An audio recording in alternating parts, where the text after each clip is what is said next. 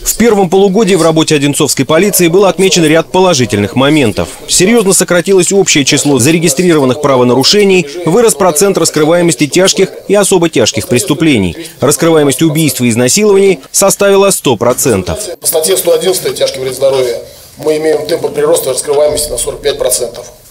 Практически аналогичный показатель по раскрываемости таких резонансных преступлений, как разбой и грабежи на территории района. Благодаря мерам профилактического характера и, в общем-то, успешной работы уголовного розыска мы с вами, нам с вами удалось снизить э, порядком 20% э, количество преступлений, совершенных по кражам автотранспортных средств. Глава района Андрей Иванов поблагодарил сотрудников управления за профессиональную работу, подчеркнув ее важность как при проведении массовых мероприятий, так и в повседневной жизни. Большая работа ведется управлением по выявлению нелегальных мигрантов. Межнациональное напряжение, как мы видим, э, спадает. Обстановка в районе в этой части становится более спокойной.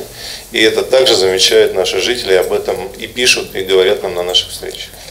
Я также хочу поблагодарить Э, за работу по расследованию деятельности управляющей компании «Дубки» в лесном городке. Это очень для нас э, тяжелый, наболевший и сложный вопрос, и по нему мы видим со стороны полиции серьезные Э, подвижки. В целом же криминогенная обстановка на территории района продолжает оставаться напряженной.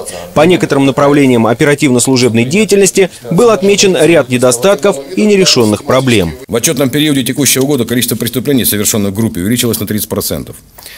Увеличилось число преступлений, совершенных лицами, находящихся в состоянии алкогольного э, опьянения, практически на 45%. Рост э, значительный произошел на территориях обслуживания Голицынского отдела, Немчиновского, Успенского, Лесной городок.